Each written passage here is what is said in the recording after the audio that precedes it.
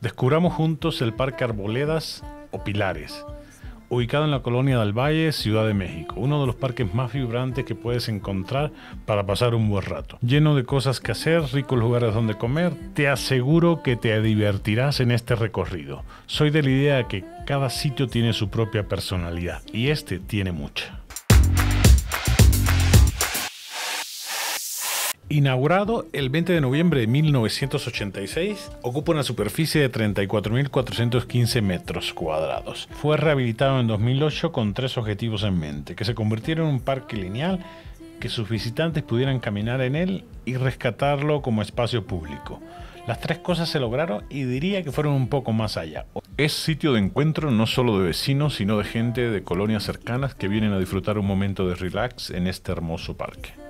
Aquí tienes para hacer todo el deporte que quieras. Una pista para correr de 768 metros de perímetro. También hay canchas de fútbol, básquetbol y una zona de aparatos para hacer pesas con tu propio peso. Vaya, que lo que faltan son ganas de hacer deporte, no deportes. El boom de todos los parques vino después de la pandemia. Ahora puedes ver a todo el mundo haciendo ejercicios desde temprano, entrenadores de fitness, profesores de rumba, partidos de fútbol o competencia de básquet. En fin, señores, hay para todos. También encuentras la zona de las patas flacas a los que les gusta hacer mucho ejercicio para el torso superior, pero nada para piernas.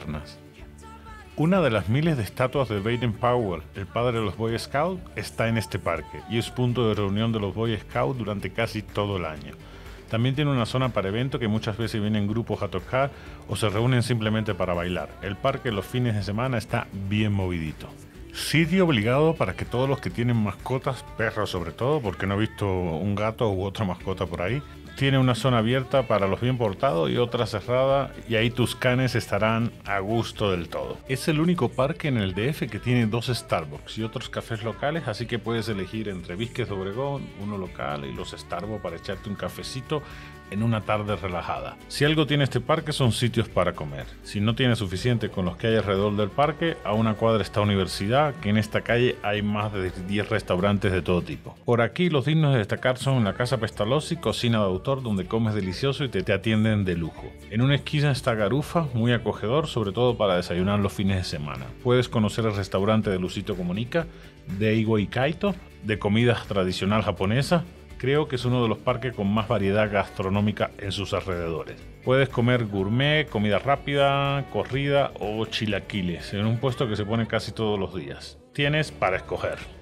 Algo que me encanta de México es que tiene tradiciones muy arraigadas. Los mercaditos callejeros son una de ellas y aquí está presente cada lunes se pone uno. Dura todo el día y puedes comprar frutas, vegetales, trastes para la cocina, ropa de todo un poco. Se pone desde muy temprano hasta caer la tarde, así que si no te da tiempo en la mañana puedes venir en la tarde. Sueles encontrar a tus vecinos todo el tiempo en el mercado. En este parque puedes encontrar un poco los diferentes estilos de construcción que han ido apareciendo en todo México a lo largo de los años. Casas de estilo californiano, casonas de los 50, otras de los 60-70 y este estilo con mosaicos que me encanta. Creo que es de mis preferidos. Si algo asocio con México son esos mosaicos venecianos que puedes encontrar en casi todas las colonias. Me gusta imaginar cómo sería la vida en esa época. Miren este edificio que debe ser de los 40-50 con esas rejas hermosas y sin estacionamiento, claro, pero es un deleite verlo. Te encuentras intentos de ser futurista que en la época que fueron construidos igual y lograron resaltar, pero la belleza perdura y lo feo con el tiempo lo vas viendo más feo hay de todo. También este tipo de privadas que estuvieron muy de moda en los 80-90. Son varias casas muy amplias. Creo que hay por toda la ciudad. Creo que en todas el arquitecto tuvo el mismo gusto. Dijo cuál será el color más feo para pintarla y listo. Escogió justo el más feo. Ese color debería ser considerado agresión cromática. Te aseguro que la generación de cristal ya estaría tomando terapia solo de ver ese color. Y como en todo siempre hay el negrito en el arroz